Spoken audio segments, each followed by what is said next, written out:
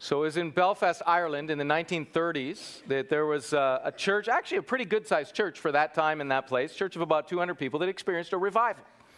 And uh, that, that uh, church, uh, the revival was so significant that every evening as they would meet together, um, weeknights, whatever nights, between 12 and 20 people gave their hearts to Christ every single evening, just night after night after night. And it was no secret that the key to that revival was prayer. In fact, every morning, every single morning, people would gather at 6 a.m. Crazy bunch, you know. 50 or so people would gather to pray for an hour. Well, there was a young man who was part of that revival. It changed his life. His name's J. Edwin Orr. Uh, J. Edwin Orr was only 18 years old when this revival took place in his church, but it so changed his life that he went on to become a preacher and evangelist. He actually went on to study revivals throughout history. He became the world's leading expert on revival. And uh, quite a neat guy, was friends with Billy Graham and lots of other folks. Really, really a, a neat story. But he describes the prayer meetings in particular at that revival in a special way. He says, you know, they weren't anything fancy.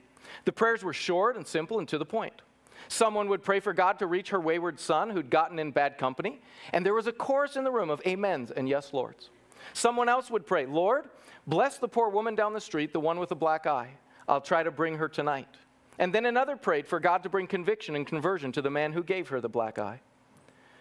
Well, during this prayer gathering where these simple, short prayers were being prayed, there was a theological student in his second year of Bible college. My Bible college friends will know what this so, you know. And he didn't like the idea of these brief and humble prayers, so he decided to show the folks how to pray. And he launched into a lengthy oration, as Orr calls it. And it went something like this We thank thee, Heavenly Father, that in spite of the disobedience of our first parents, that the seed of the woman didst bruise the serpent's head, and thy plan didst triumph. And we thank thee that in spite of the wickedness of the world, thou didst shut the family of Noah in the ark to persevere thy seed.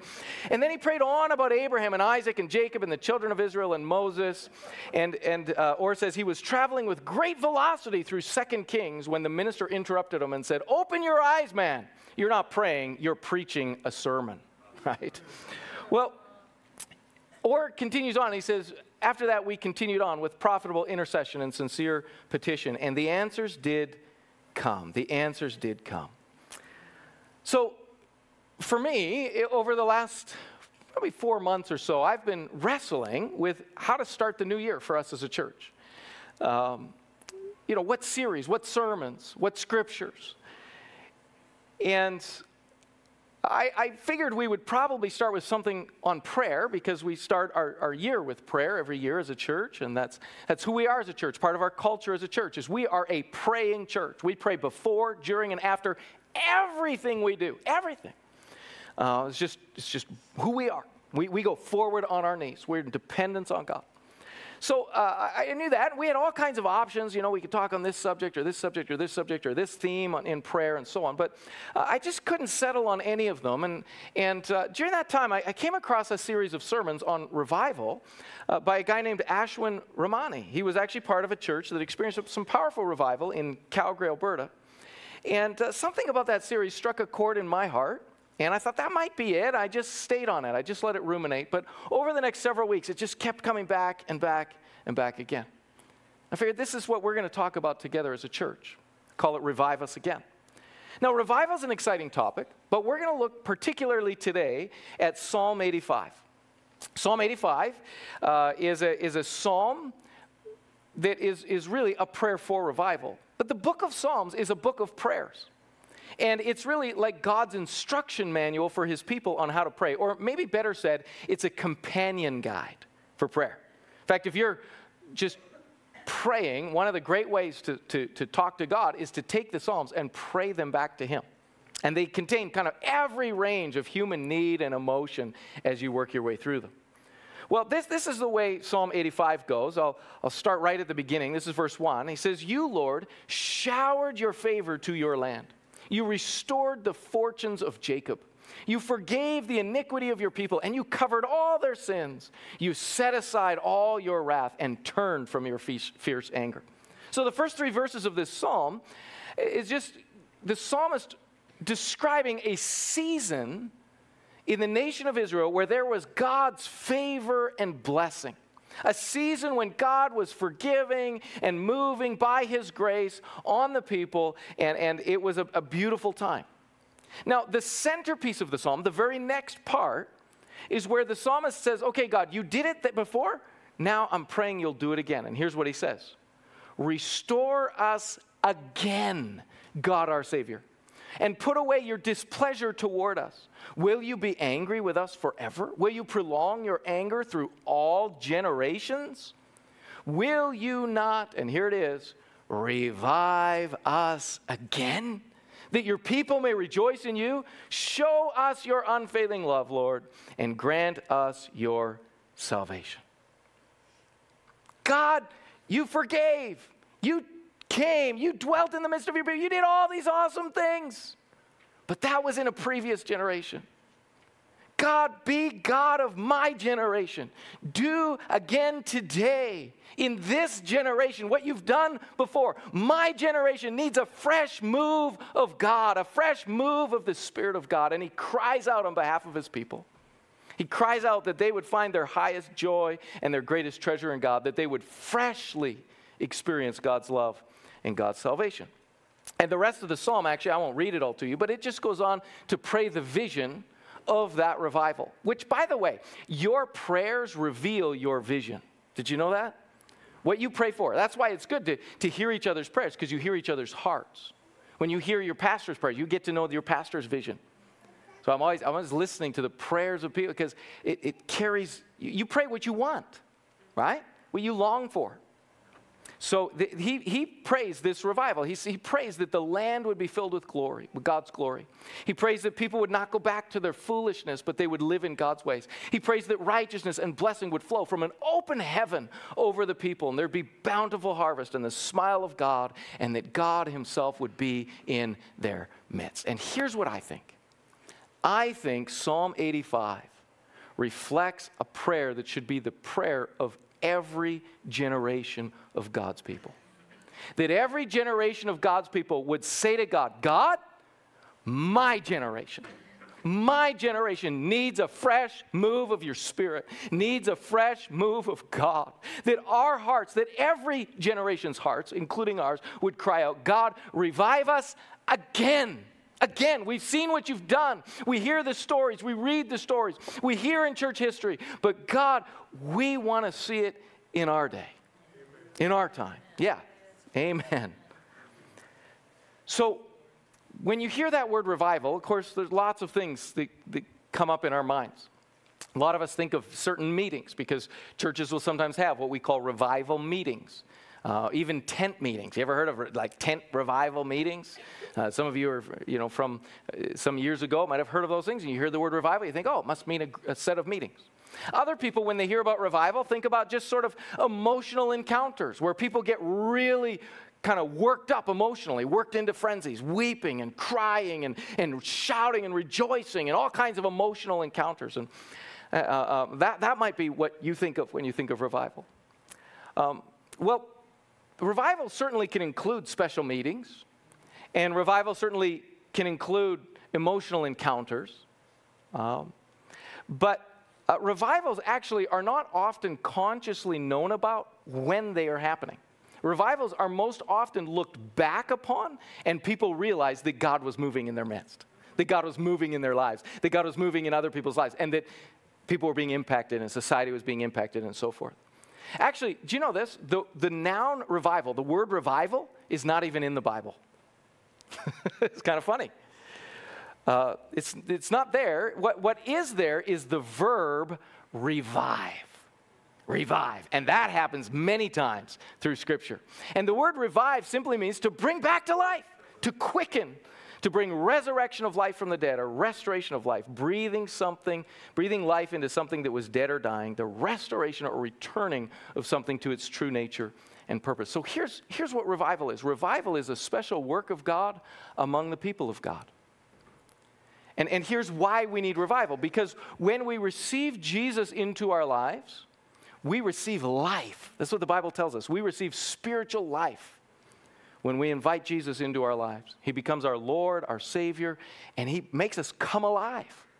Some, some, uh, the Bible calls that being born anew or born again. But here's the, the challenge the reality is, if we're not careful, that spiritual life that comes on the inside of us, over time, it can recede, it can fade, it can diminish over time. And we need God, by His Holy Spirit, to awaken us, to restore, to renew that life within us. Actually, a powerful image of, of revival in Scripture is a fire. Uh, this last summer, I went on what we called an epic father daughter camping trip. I went with my daughter. And we went to three different national parks in the U.S. and drove over a thousand kilometers together. We hiked what felt like hundreds of kilometers. I'm not sure what it was, but we hiked a lot.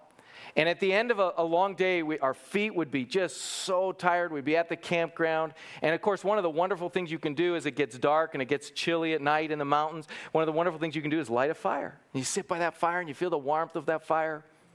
But inevitably, what happens? You don't have to do anything to the fire, and what happens to it? It dies down, right? And pretty soon, all you've got left is just some, some embers. And one of the coolest things you can do, well, this is just part of what I love about campfires, with those embers, is you can kind of stir them and then blow on them, add a little bit of fuel to them, and you can turn a dying fire, just a few warm embers, back into a roaring blaze, right? That's a great image of revival. But just like a fire dies down all by itself, the, the, the, default mode of the human heart is to become spiritually lukewarm, to lose spiritual passion, and, and, and really to, to kind of be influenced to, by the, the patterns of the world around us by the coldness towards God of the world around us. And so, all through Scripture, you actually see this a pattern of, of backsliding and then renewal, backsliding and renewal. God, uh, with, with Israel, repeatedly, Israel would lose their spiritual zeal, give in to idol worship, uh, wander far from God, compromise their faith, and then God, through, through prophets, through His Spirit, sometimes through suffering, He calls them back and revives them again and again. And actually, in the New Testament, we, we see something of the same thing. The New Testament actually starts in revival, right? God breaking in on the scene, literally, Jesus coming. We just celebrated that in the Christmas season. God breaking in on the silence, the sin, the suffering, the emptiness of the world. Jesus shining light into the darkness. it's super cool. When you read the Gospels of, of, of just Jesus arriving I mean, he brings life and hope and healing. Everywhere he goes, he speaks, uh, strengthening to people. All these great things happen in the ministry of Jesus. And what does he say? He says, The kingdom of God is here, right? God is imminent. God is in the midst of his people. Woo, right? It's revival. Say, Hallelujah. Heaven has invaded earth, right? That's the New Testament. And while he's doing that, he gathers these disciples, people he's training, and he gives them his heart. He gives them his kingdom. He gives them his love, and he fills them with the Spirit. And he says, Now, you guys spread the fire. Right? And the church is born. The church is born in revival. They're praying, the Spirit descends, right? The, this wind blows, tongues of fire come upon each one of them. They declare the praises of God. People come by the multitudes, and then thousands of lives are transformed as they get to know Jesus for themselves and are forgiven. And those thousands of lives share with more, and they impact thousands upon thousands. And the way it says it in Acts is they turn the world upside down. Amen. It's awesome to read about. It's really exciting. Of course, uh, it's interesting, at the very same time, it doesn't take long for there to be also to be some struggles, for the fire to die down, for the human heart to default towards being lukewarm. Actually, Acts chapter 2, the church is birthed in revival. You see all these great things happening. Chapter 3, chapter 4. Do you know by chapter 5, there's already sin issues that they got to deal with? By chapter 6, there's grumbling and complaining. And as you work your way through the book of Acts, the church deals with fear and complacency and false beliefs and all of these things. And, and you find yourself just kind of saying, Really? Really? Even the spirit filled, blood bought church of Jesus? really? And of course, the answer is, Yep. Yep. That's the way human hearts are. And at the same time, as you read about the church struggling in these ways, you also see the mercy of God, the relentless love of God, the, the, the, people returning to God in prayer and being filled and refilled again and again and again with the Holy Spirit. And as you read through the rest of the New Testament, you read these letters to the churches, and you do see revival. You see the churches on fire, the message spreading, great things happening. But you also see, you also see exhortations to those churches to say, hey guys, stay alert. Stop flirting with sin. Hold fast to the truth. Refuse the ways of the world. Tend your spiritual fires and cling and pursue the Lord. Cling to and pursue the Lord and his ways with all your might. Why? Because that's what the church needs to hear. In fact, the very last book of the Bible, the book of Revelation, near the beginning of that book, Jesus speaks to the church in what we call the seven letters to the churches of Asia Minor. And there's these seven churches addressed, I think representing us, you know, all, all the different stages and phases of church life. And uh, as Jesus talks to those churches, he has some good things to say. He's like, Atta you know, these are great. But he also has some rebukes to offer them. And I actually want to share with you five of the seven churches receive rebukes. Uh, two of the seven, they only get encouragement. They're just like, good job, hanging on through tough times. You guys are doing awesome. But five of the seven get rebukes. And I want to share them with you. Actually, just hide those for one second before. Hide them, hide them. There we go. Okay, they're going to come back. But just before I read them, here's what I want you to do as I read through these. I don't want you to think of the Old Testament people of Israel and how, yeah, those guys backslid. They let their fire grow cold. I don't want you to think about the New Testament church, which in this case is only decades old when this was written. I don't even want you to think about the church around the world today or Victory Church here. I want you to think of your own heart. And I want you to hear the challenge of Jesus to every one of our hearts who have a tendency to move in the direction of these things that are challenged here. So now we can put them up. There we go. The first church is challenged because they've left their first love. They've left their first love. On the outside, we look good. But Jesus says, Your passion is gone. The heart, the most important part, is missing that flame within. The second challenge comes to a church that has compromised their beliefs. They've, they've gone with the ideas of the culture around them, and in particular, with the sexuality of the culture around them. And uh, he just says, hey, you've got to repent. You've got to change your way of thinking back to what God's word says. The third church that's challenged has mixed with idolatry and immorality, actually, very similar to the church before it. Apparently, that's an easy one for us to get dragged down by. The fourth challenge is the church that's fallen into spiritual lethargy. And he says to them, You guys, you, you think you're alive, but you're dead, you're sleeping, and you need to wake up. And then the fifth challenge just says, Man, you've become lukewarm. There's an indifference to your faith, there's a carelessness about it. You think you're doing fine. He says to them, He says, You, you, you, you look at yourself in the mirror and you think you look fine. But the truth is, when I x ray your heart, God says, there's some trouble there. So here's, here's what, what we need to understand from all of this. Whether it's the Old Testament, the New Testament, or the present day, God's people, us kind of people, are prone to wander, prone to leave the God we love. So, a fire is a good illustration. Another good illustration for this in Scripture, or metaphor for this, is uh, a wake up or a challenge to wake up, a wake up call. Um, that's the one that Jesus uses for the church in, in, Revelation chapter 3, verse 1. He says, I know the things you do. You have a reputation for being alive, but you are dead. Wake up! I love that. This is a great thing for a preacher to get to say once in a while. Wake up! Right? It's like, I see you. Wake up! Right? Uh, strengthen what little remains, for even what is left is almost dead, right? The embers are dying. Wake up. We're tempted to fall asleep when we feel at ease, when everything seems good in our lives. That's why trials can sometimes be a gift to us to keep us awake, spiritually speaking. We're tempted to sleep the longer we're at something. That's why, as followers of Christ, uh, uh, as you continue on in your faith journey, it's important to stay growing, to stay learning, to stay fresh. But three times in Paul's letters, he uses that phrase, wake up. He says it to the Roman church, he says it to the Thessalonian church, and he says it to the Ephesian church. Three times, wake up. All three of those churches, by the way, are exemplary churches. They're great churches, but they need to hear a wake up call. Ephesians 5, uh, it says it this way Awake, O sleeper, rise from the dead, Christ will give you life. And in the context, Paul is saying, Don't be careless about your life. God's brought you out of darkness into the light, so live like it. He's saying it's so easy to slide back, little by little, compromise by compromise, inch by inch. Don't do it. Live with urgency. Be alert. Don't be careless. Don't be thoughtless. Why? Because when you start to sleep, you, you, you lack an awareness to reality, right? You're not really present to the Lord and to his mission. When you're asleep, you're vulnerable to attack. And there's an enemy who wants to destroy you and a battle that you're in. When you're asleep, the truth is, you look no different than when you're dead.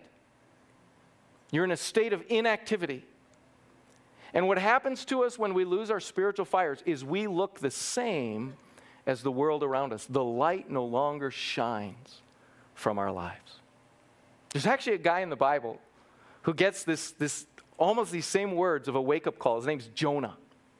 Jonah is this prophet in the Old Testament who God calls to be on mission, and he runs away from the mission.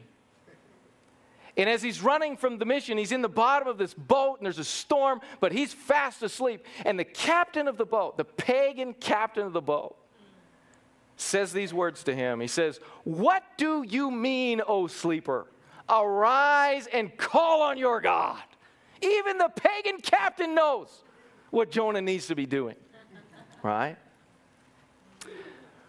Uh, one of the neat things that, that I got the privilege of as a young man was getting to travel some. My parents actually lived in Kuwait for a few years. And my brother and I, one time, were uh, visiting my parents, and we got to spend some time in Egypt.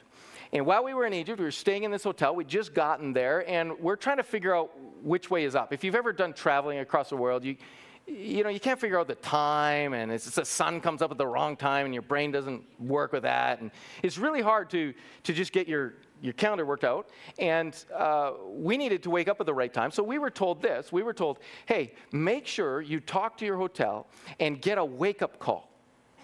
Now, I didn't even know there was such a thing as a wake up call. Do you guys know you can get wake up calls in hotels? Yeah, it's kind of cool. So we, we, were like, I don't know, how do you do that? We're like looking through the little book and they, oh, oh, you, you know. So we called the front desk. We said, hi, could we get a wake up call? Oh, sure, you can get a wake up call. What time? So we say, 7 a.m., give us a wake up call. So sure enough, we fall asleep and we're totally groggy, we're out of it. And the phone rings, 7 in the morning. My brother picks up the phone and, you know, he's on the phone for a little bit. And then he hangs up the phone and he starts laughing. Well, I'm barely waking up. And I'm like, what are you laughing about? We're, we're out of it. And he says, You should have heard them on the phone. They said this Good morning. This is your wake up call. Come up, come up, come on. and he just said, You know, they basically sang me a cheerful wake up call.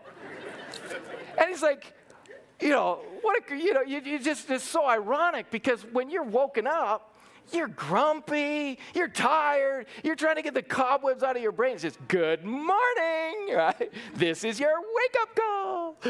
Yeah. What's interesting, all these churches that God writes to in Revelation, He's given them wake up calls. These churches that Paul writes to, Romans, Thessalonians, Ephesians, wake up, right? And you can kind of think God's mad at you you can kind of think God's out to get you. You can kind of feel a little bitter about it, right? Why'd you wake me up? Let me sleep. This is harsh. This is a hard word, Pastor. Why, why are you giving us a mean revival sermon again, right? But here's the thing. Here's the thing. And God actually says this in the, to the lukewarm church, the last church in Revelation. He says this. He says, I'm sharing these challenges to you because I love you. Because I want what's best for you. Hey, Jonah, you're going to die in the bottom of that boat. Wake up. Wake up. I have so many good things for you. Wake up. There's so much more for you in 2024. Don't sleep through it. Don't miss out on what God has. Don't miss out on, on, on, the, the fire and the life and the hope and the purpose and the healing and the God being in your midst. Wake up. I love you. That's what you need to hear from God today. Yeah. He cares. He cares, and He really, really wants you to experience His life and His fullness and His joy and His open heaven over your life this year. So, We should want this. We should pray for this over our world. God, bring revival to our world. We see the darkness in our world, it breaks our hearts, and we pray for our world. In our generation, God, move afresh, right? Be in the midst of this world, shine your light. But for God to move in our world, He needs to move in our country. And we should pray for Canada, and our hearts should break for this country when we see the darkness and the brokenness in this country. We just pray, God, revive us again, move in this country, shine your light, break in, God.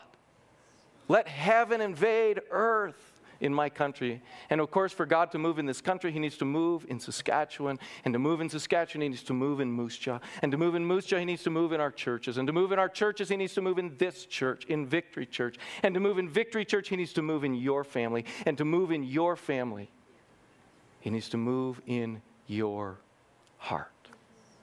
Revival starts right here, right? Right there. Yeah. So I'll close by telling you a story about a guy named Gypsy Smith. Gypsy Smith uh, lived from 1860 to 1947. His real name was Rodney Smith. He was born in humble origins in a gypsy tent on the outskirts of London.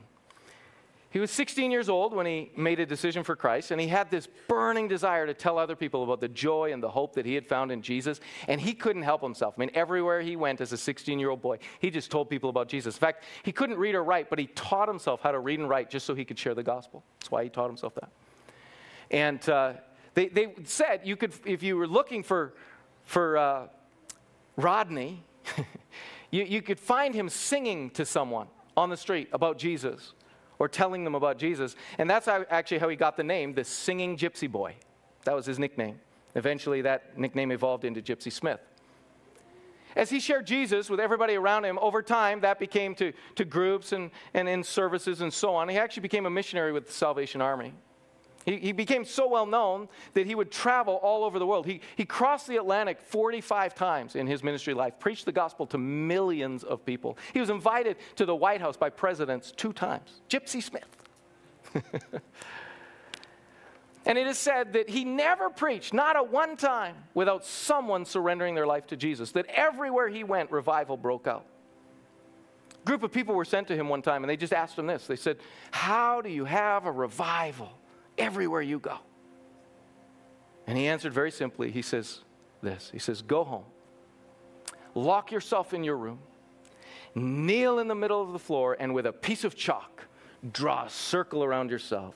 And there on your knees, pray fervently and brokenly that God would start a revival within that circle. And so that's how we're going to end the service today. We're, we're going to pray just like that. We're not going to wait till we get home. We're going to draw a circle around ourselves. I was tempted to hand out pieces of chalk, really. So we're just going to say, God, we're praying Psalm 85. We've seen what you've done before. Do it again in our generation. Actually, Habakkuk summarizes Psalm 85 so well. Habakkuk 3, verse 2, he says, Lord, I've seen the report about you, and I stand in awe of your deeds. In other words, I've, I've heard all this stuff about you, God. So revive your work in these years. Make it known in these years. In your wrath, remember mercy. I don't deserve it, God. I don't deserve it, God, but where my spiritual passion has been waning and where my love has grown cold, oh God, would you fire me up again? God, would you wake me, wake us from spiritual slumber to the reality of your presence? Why don't you stand with me and we'll just pray this? You just pray in your own hearts. I'll lead us through it. But God, I pray you would free us from nominal, sleepy Christianity. God, we just choose right now to draw a circle around ourselves and cry out to you. Come with a divine visitation of your Spirit. Come down in power. Lord, we pray, like it says in Isaiah 64, oh God, that you would rend the heavens and come down, and that the mountains would quake at your presence. God, blow a fresh wind of your spirit upon our lives. Intensify your work, amplify your voice, lift us to new levels. Realign us, God. Turn us back to you. God, make us zealous for your glory. Give us a passion for souls to reach our family and friends and neighbors. Set our hearts ablaze, God, for you. Make us a people of earnest and fervent prayer. Lord, a people who will truly seek your face with our whole hearts. Wake us up, God. Wake us up in your love, in your mercy. Wake us up. You know, I want to just pray for one other thing. If you're here today and you just say, I don't really know wh- where I'm at with Jesus, where I stand with Jesus, not sure I've received him into my life. I mentioned earlier that when a person receives Jesus, receives Jesus, they get spiritual life put into them.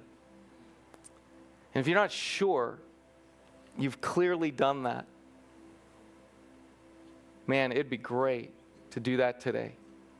To just bring your own heart before God and just say, Jesus, I want to receive you. Actually, I want to just give you a chance to, to express that. If we could just close our eyes, bow our heads, and if you're here today and you just say, I'd like to receive Jesus into my heart, into my life today, if that's you, would you just lift up your hand and just say, Yeah, that's me today. I'm doing that right here, right now.